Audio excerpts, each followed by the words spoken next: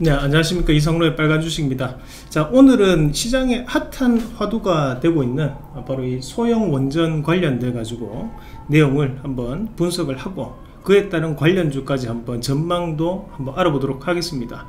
자 오늘 원전 관련주들 안에서도 어, 어떤 종목군들은 상당히 강한 모습을 보였던 반면에 다른 또 한쪽의 종목군들은 큰 폭의 또 하락세가 나타났는데 한번 분석을 해보도록 할게요 자 일단 최근에 이슈가 됐던 것이 일단 한미 정상회담 관련돼서 먼저 음, 이 소형 원전에 대한 얘기들이 나왔습니다. 그리고 연초부터 얘기 나왔던 것은 우리 이제 유럽이 이 원전에 대한 부분을 녹색 성장에 포함할 것이다 라는 얘기가 많이 나왔었거든요. 어, 거기에 따른 내용들은 이제 우리가 흔히 알고 있는 대형 원전보다는 이런 소형 원전 관련된 얘기였던 부분이었고 마찬가지로 어, 최근 들어서도 이 빌 게이츠와 워렌 버핏도 어, 이런 나트륨 원전에 대한 관심을 나타내면서 어, 이 에너지 산업에 대한 game changer가 될 것이다 라는 얘기까지도 어, 나오게 되었습니다.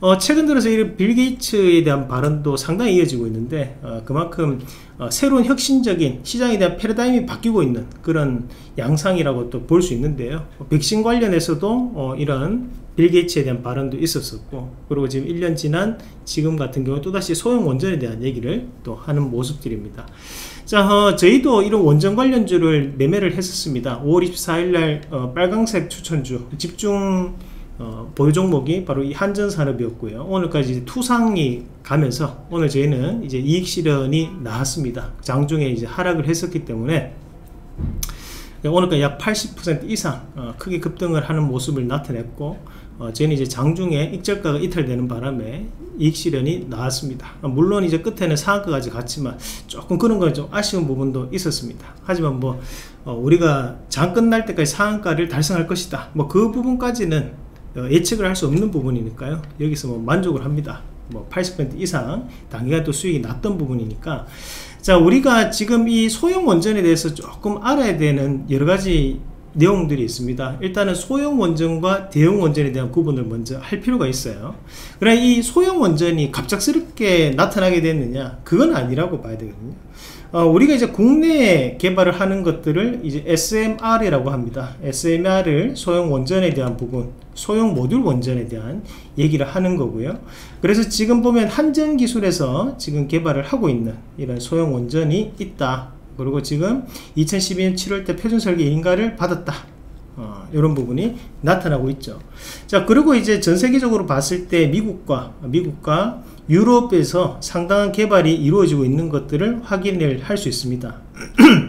그러니까 지금 기술적인 부분으로 가장 앞서고 있다라고 볼 수 있는 것이 바로 이 미국의 U-Scare이라고 보시면 돼요. 그래서 미국 자연순환에 대한 부분이라고 보시면 되고요. 그 표준 설계 인가를 2020년도 8월 달에 받았다.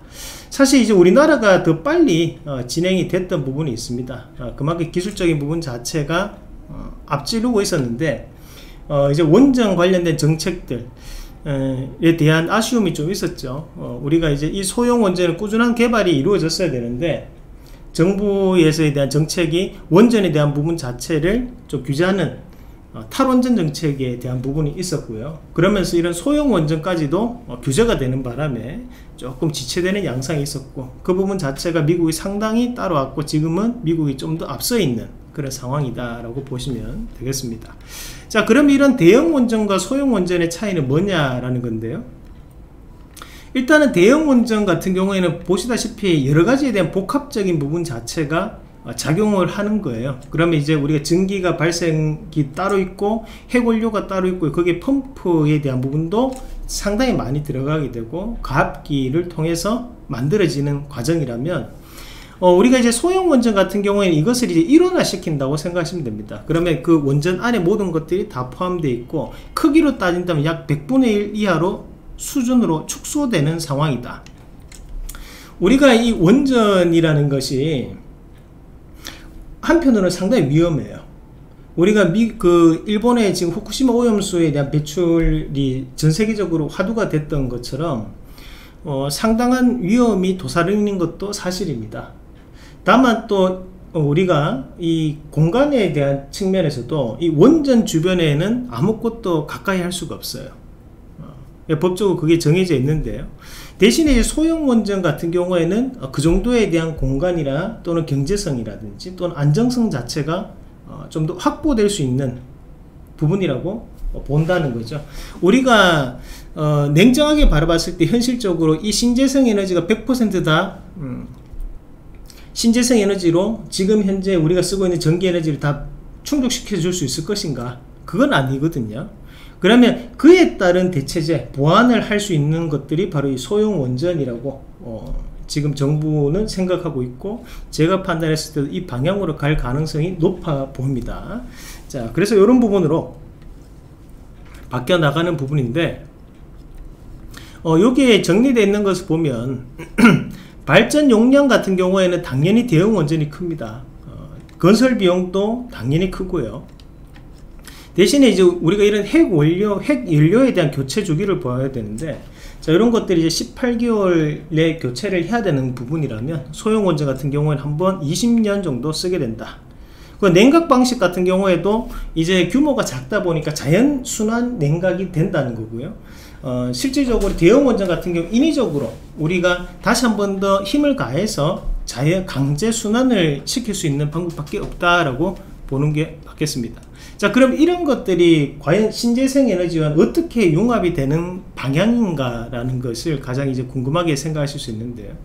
어, 일단은 우리가 이런 소형 원전들을 이제 분산형 전원을 가지고 있다라고 얘기를 하고 거기에 따라서 수소 생산과 해수 담수화에 대한 응용을 할 수 있는 다양한 분야에서 활용을 가능하다라는 부분이거든요.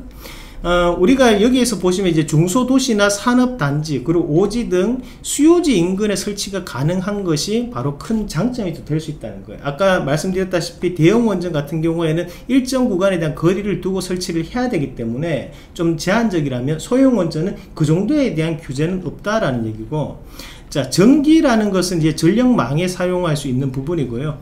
그리고 거기에 전기와 증기에 대한 부분 자체는 전기분해 통해 가지고 수소로 활용할 수 있는 부분이 형성된다. 그리고 지금 증기 같은 난방수에 대한 부분으로 지역 난방에도 활용할 수 있는 부분, 그리고 증기와 해수에 대한 해수 담수화 설비에 대한 부분은 또 담수로 활용할 수 있는 여러 가지에 대한 형태로 어, 지금은 진행할 수 있다라고 어, 지금 시장은 판단하고 있습니다. 그래서 우리가 신재생 에너지가 되면 뭐 우리가 풍력이나 태양광 어, 또는 이런 부분에 대해서 생각을 하게 되는데 이런 소형 원전 같은 경우에도 이 신재생 에너지와 함께 어, 우리가 활용이 가능한 부분. 지금 현재 미국에서 일자리 정책 자체가 대두가 되면서 지금 인프라에 대한 부분이 얘기가 계속적으로 나오고 있거든요. 거기에서도 마찬가지로 신재생 에너지 그 친환경 일자리를 만드는 것에 대해서 이 바이든 정부는 상당한 투자를 하고 있습니다 그리고 거기에 따른 예산안을 집중적으로 편성을 했던 부분이었고요. 거기에는 이 소형 원전에 대한 예산도 포함되어 있어요.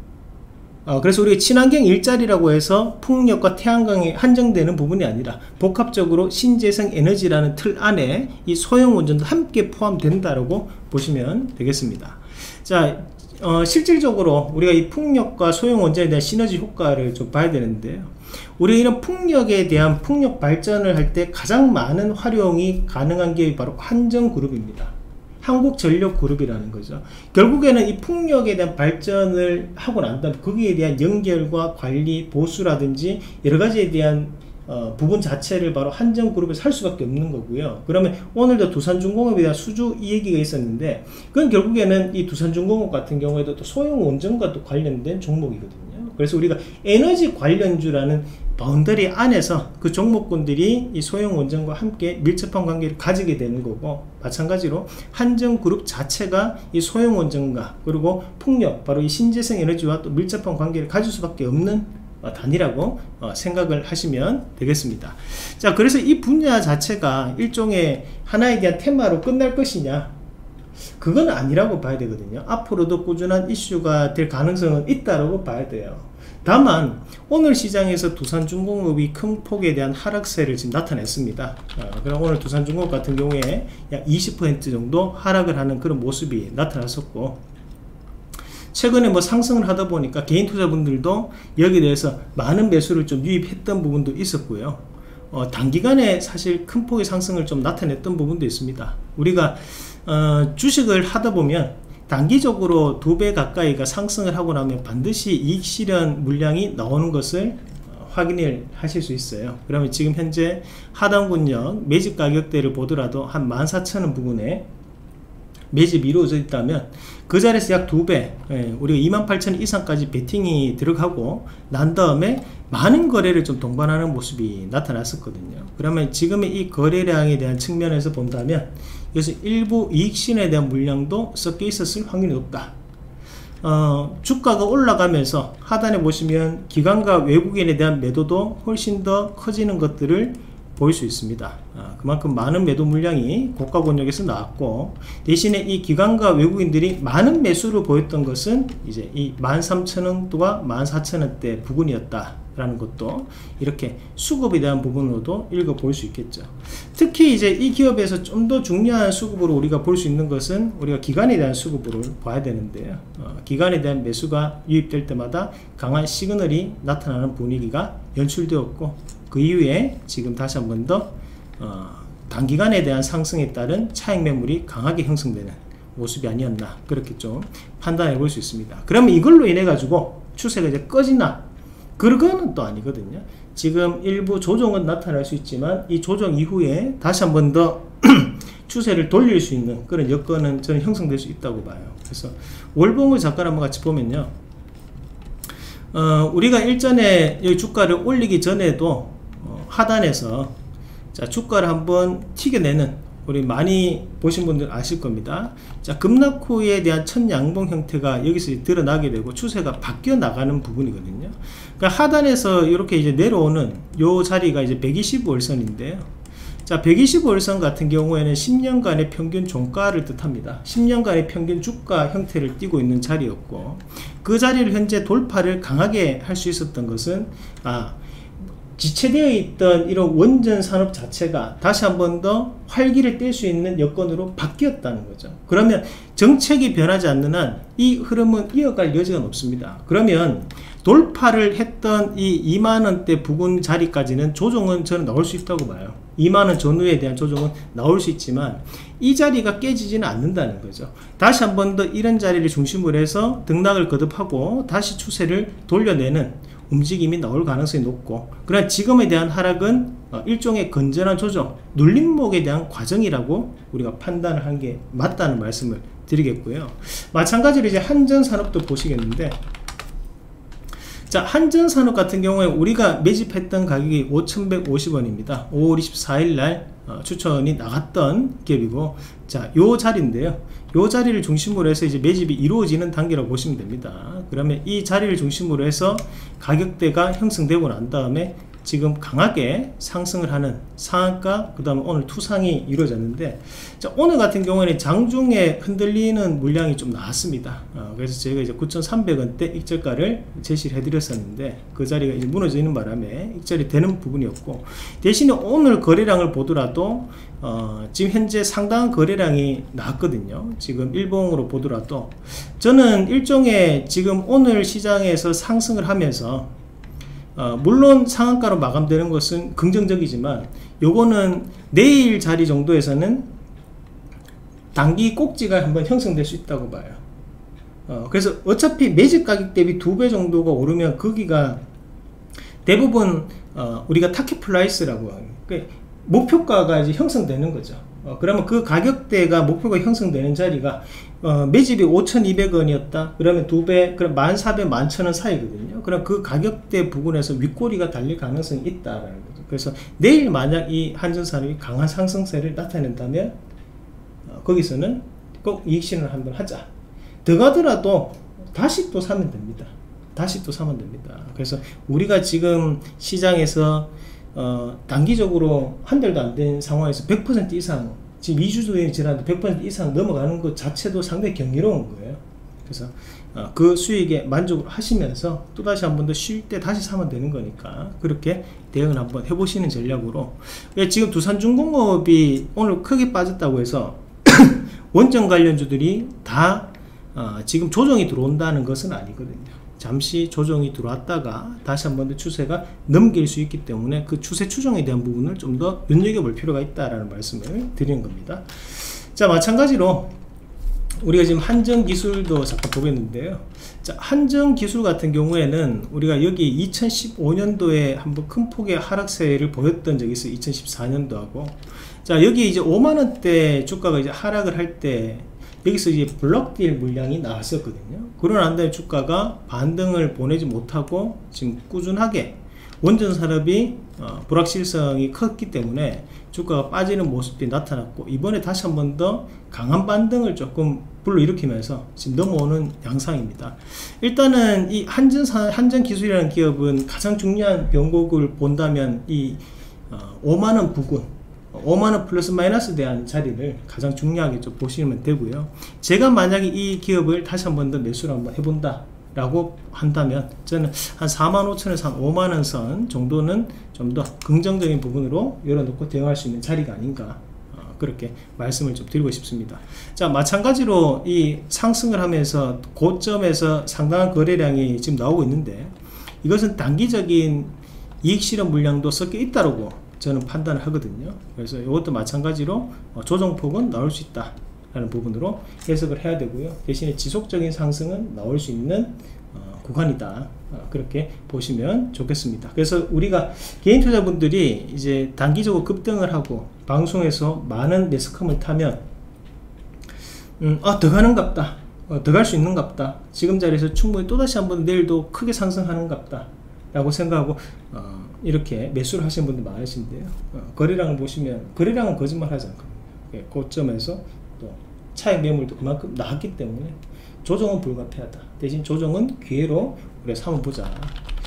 자 한국전력도 그렇고요. 어, 최근에 이 한국전력도 여전히 좋은 모습이라고 저는 보고요. 또 특히 또 여름이 다가오고 있기 때문에 여름이 또 다가오면 이 전력량에 대한 사용도 훨씬 더 많아집니다. 어, 그래서 거기에 따른 부분 긍정적으로 볼 수 있고 이건 다중바닥이 형성된 구간이기 때문에 여기서 쉽게 빠지지는 않을 거예요. 자 그리고 한정 KPS도 중요하죠. 한정 KPS 같은 경우에도 원전의 기술을 보유하고 있는 기업이고요. 자 그리고 이제 항상 이 탈원전 관련해서 오르비텍 같은 기업들도 상당히 이슈가 되는 부분인데 자 이런 것들 다 코스로 계속 알고 계셔야 됩니다. 변화는 나올 수 있는 구간이라고 봐야 되고요. 뭐 우리 기술이나 이런 기업들도 어, 단기간에 이제 급등을 하는 모습들이 나타나는데 사실 이제 우리 기술 같은 기업들은 막 좋은 실적을 보유하고 그런 기업은 아닙니다. 그래서 이런 기업들 같은 경우에 우리가 비중을 크게 실어서 접근하는 것은 조금 어렵거든요. 만약에 어, 금액대가 좀 있다. 그래서 좀 더 긴 기간을 좀 가지고 보겠다 하시는 분들 앞서 한전 KPS나 한전 기술 또는 이제 한국전력 같은 종목군들이 저는 훨씬 더 차선책으로 좋은 방안이라고 보고요. 어, 그리고 이런 종목군들 같은 경우에 좀 trading 관점으로 어, trading 관점으로 대응하는 전략이 맞지 않나. 그리고 이제 항상 이제 원전 관련돼서 얘기가 나오면 또 그에 따른 부분에서 이제 피팅 밸브도 함께 움직일 때가 많습니다. 그럼 이제 그런 이제 DK 락이라든지 어, 또는 이제 우리가 이제 BMT 같은 기업들도 그런 피팅 밸브 관련 업체이기 때문에 영향을 미칠 수 있습니다. 그래서 이런 것들도 광범위적으로 함께 보는 전략도 어, 좋다. 말씀도 함께 전해드리도록 하겠습니다. 자 오늘 원전 관련주를 한번 같이 보셨는데요. 어, 사실 이 원전 관련주가 정책에 대한 부분으로 어, 지금 한동안 오랫동안 어, 쉬는 모습이 나타났었습니다. 어, 하지만 어, 이런 대형 원전 같은 경우에 전 세계적으로 이제 축소되는 양상이고 대신 이제 소형 원전에 대한 부분은 선진국을 중심으로 다시 한 번 더 확대가 되는 양상이기 때문에 우리가 이런 소형 원전은 앞으로 어, 그린 뉴딜과 또다시 밀접한 움직임을 보일 수 있기 때문에 연속적인 부분은 나타낼 것이다. 대신에 타이밍적으로 지금은 단기 급등으로 인해서 피로감은 있다. 어, 그럼 조정은 기회에 대한 부분으로 삼아보자. 그런 결론을 내려보도록 하겠습니다. 자, 어, 저희가 이제 책 출판을 해서 지금 현재 이벤트를 진행하고 있습니다. 온라인이나 오프라인 모두 다 구입이 가능하시고요. 어, 저희가 이제 리뷰 이벤트를 진행합니다. 리뷰를 어, 적으셔서 어, 이 리뷰를 저희한테 보내시는 게 아니고 구매 사이트에 아무 때나 가능합니다. 뭐 쿠팡에 적으셔도 되고 또는 뭐 S24나 교보문고에 적으셔도 됩니다. 그 리뷰를 적으셨던 어, 사이트에 적은 그 인증샷을 저희한테 어, 메일 주소라든지 또는 전화로 보내주시면 저희가 모든 분들께 다 스타벅스 커피 쿠폰을 보내드리고 있습니다. 많이 참여해 주시길 바라겠습니다. 자, 시원한 커피 마시면서 또 즐겁게 주식 공부 하시는 그런 하루가 되시길 바라겠습니다. 자, 오늘 하루도 수고 많으셨고, 어, 또 다음 시간에는 더 좋은 내용으로, 더 퀄리티 높은 내용으로 여러분들께 보답하도록 하겠습니다. 자, 오늘 여기까지 말씀을 드리도록 하겠습니다. 자, 이상입니다.